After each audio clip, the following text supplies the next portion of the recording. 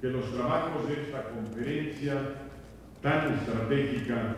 e importante redunden en acciones y en beneficios directos,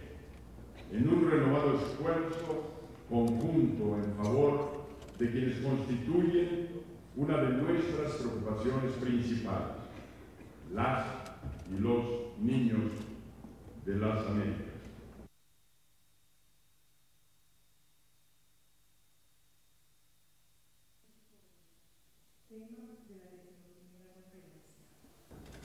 La erradicación de la poliomielitis y el sarampión, por ejemplo,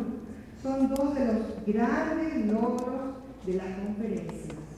porque en su momento fueron causas que abrazaron las primeras damas de las Américas y hoy siguen estando en nuestra agenda